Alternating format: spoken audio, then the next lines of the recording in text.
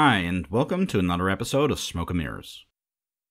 The topic of this tutorial was chosen by my patrons. What you're looking at right now is an experiment I did a little while ago to see how many asteroids I could get Godot to render at an acceptable frame rate. I managed to get this running in the hundreds of thousands of asteroids on my old laptop with a 1060 GTX graphics card. There are a number of different techniques involved in what you're looking at right now, and we're only going to look at one of those in today's video, and that is using Godot's multi-mesh node. The other noteworthy technique we'll look at at a later date is the LOD system shown by the different colors of the roids. The green ones have something ridiculous like 30,000 polygons. Multi-mesh in and by itself isn't a silver bullet. When used wrongly, it can cost performance instead of improve performance. We'll be looking at that in this video. To obtain a baseline, we're first going to add our asteroids as mesh instance nodes. We'll write a simple loop in GDScript that adds asteroids at a random location. Every time we hit the spacebar, we double the number of asteroids.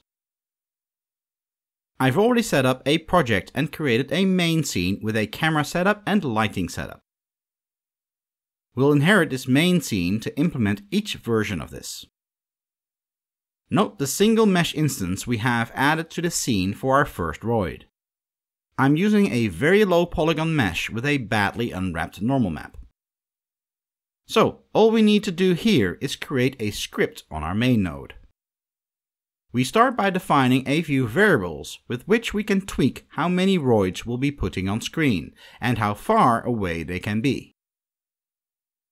Then we add a variable that tracks how many roids we're currently showing. Next, we add the function that will add new roids to our scene. First, we check if we've got our maximum number of roids and if so, we return.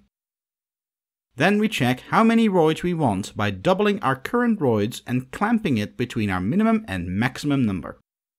Now we can loop to add the roids we need. First we create a new mesh instance.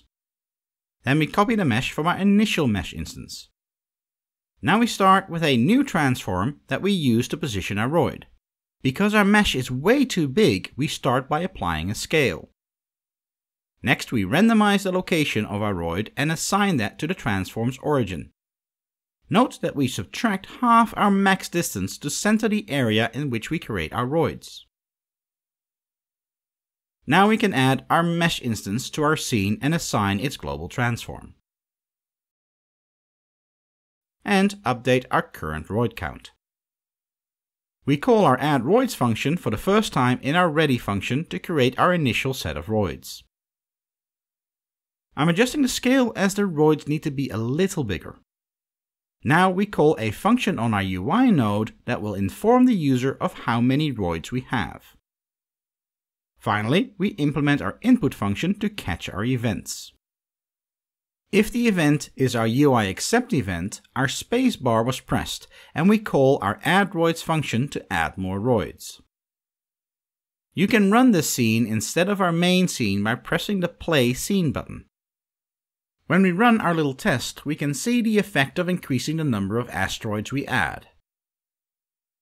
I'm starting at 16,000 roids and it's rendering at an acceptable frame rate. Doubling to 32,000, we can see we're starting to struggle.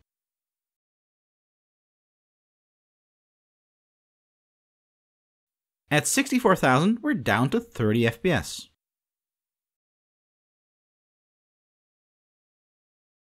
Note also, as we keep increasing, it takes longer and longer to actually add the roids. There is a certain overhead in adding nodes to the scene tree in the way that we do.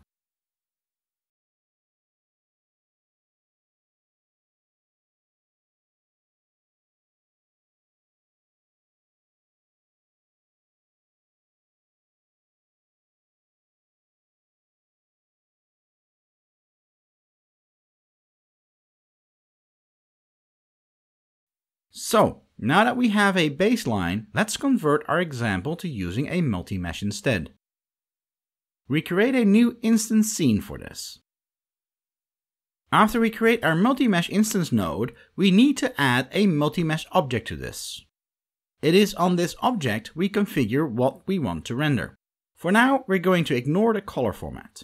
We change our transform format to 3D, and we leave our custom data format alone. Our instance count creates the array that will store all our location data.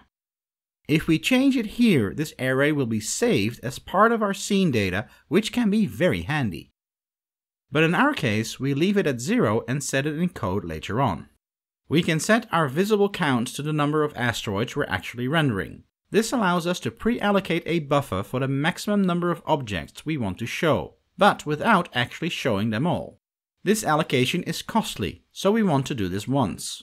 Again, we'll be changing this in code. Finally, we load in our asteroid mesh.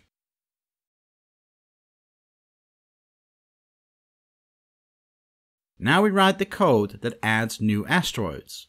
This code is almost identical to our previous implementation. We start with our setup variables.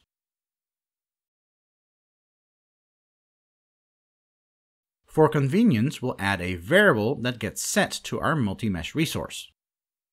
We start with our add_roids function. We check our visible roid count and exit if we have enough roids. Then we double the number of roids we want to have and clamp the result again. Now we loop through our new roids so that we can randomly set a location for them.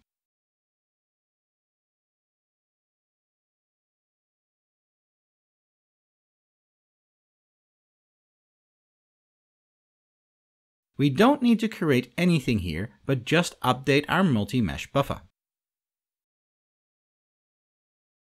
Then we update our visible instance count and update our UI.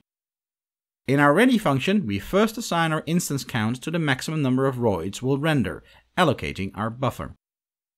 We then call add roids to add our first set of roids. Finally, we add our input function just like before. Running this test, we can see some interesting results. We are immediately seeing that adding roids takes much less of a performance hit, so there is a win for us. Our frame rate is up as well, but does start to go down when we get into the hundreds of thousands. Now, if we were to repeat this with a higher polygon object or a more complex shader, we would see less and less performance difference. In fact, there will be a point where the multi-mesh will be slower than individual mesh instances. We're winning by removing the overhead of individual draw calls for every asteroid, but we're losing the ability to do clipping on the individual asteroids. In our multi-mesh example, all the asteroids that are off-screen are still being rendered, while in our original example, those were being clipped. We've traded one performance issue for another. The way we solve this is by balancing the two. Instead of using a single multi-mesh node, we're going to create a grid of multi-meshes. Now, in my original example, these are organized in what is called an octree, but for this video, we're going to keep it simpler. We'll create a grid of 10 by 10 by 10. That means we end up with a thousand multi-meshes. To get a million roids, each will render a thousand of them.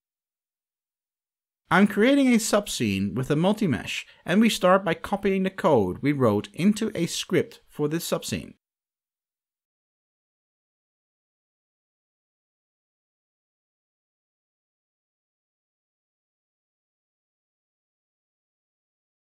We can set our start roids to 1 and our max roids to 1000. We'll divide our max dist by 10. And we change our onReady var to use our multi-mesh directly. Don't forget to change our extends here. Instead of updating our UI, we return our new roid count. We also remove our add roids call from our ready function and remove our input function. Now we create a new main scene. And we add a new script to this. Before we write code, we'll add a new spatial node that will become our container for our multi-meshes. In our ready function, we'll nest three loops that will create our nodes. We start with a variable that holds the position at which we create our node. Our first loop goes through our 10 layers on our z-axis. We then reset the position on our y-axis. Now we loop through our 10 layers on our y-axis and reset the position on our x-axis. Our final loop goes through our 10 layers on our x-axis. We need to preload our multi-mesh scene, so let's do that at the top of our code first. Now we can instance a new scene in our loop and add it as a child to the grid node. We create a new transform to position our new node and assign that to its global transform. We increase each of our axes in our position variable at the end of each loop. Once all our nodes are added, we call our addRoids function. We need to implement that, so let's do so. Here we loop through all the multi-mesh nodes. We call addRoids on each of them and add the resulting count together.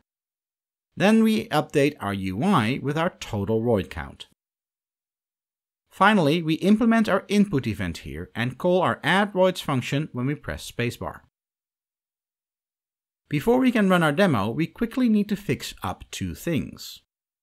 First, we need to return 0 when our instance count has been reached. And we set our multi-mesh resource to local to scene so we get a unique resource.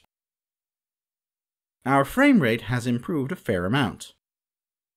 Once we start going over a million roids, it can start to struggle, as we look into our entire asteroid field from one edge, but I've increased the limit to 4 million and even at that we get anywhere between a dismal 10 to an acceptable 60 frames per second.